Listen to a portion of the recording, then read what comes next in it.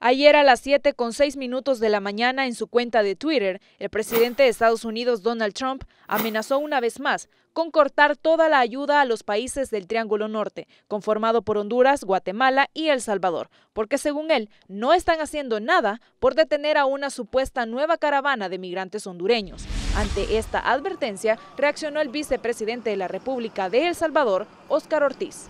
Más allá de cualquier declaración coyuntural, Estamos convencidos que la relación entre el pueblo de Estados Unidos, el pueblo de Salvador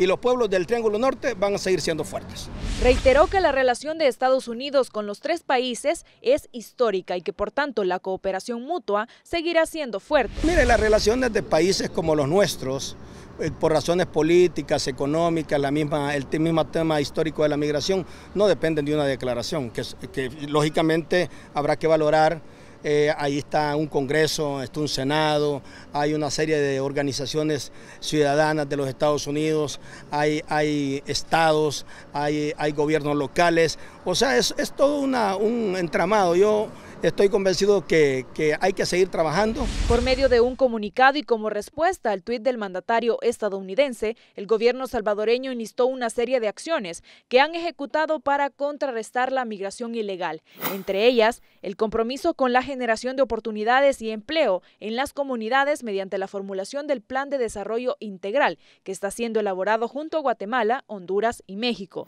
El retorno de mil salvadoreños que en caravana partieron hacia los Estados Unidos y también destacan los constantes llamados a la población a no arriesgar sus vidas en busca del sueño americano.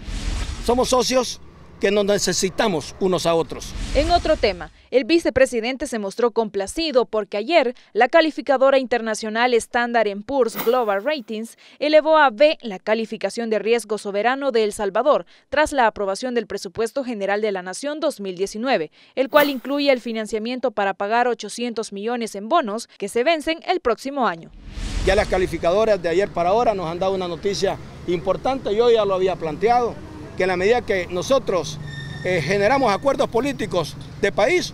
eso fortalece la certidumbre y la confianza. Para el noticiero, Jessica Espinosa.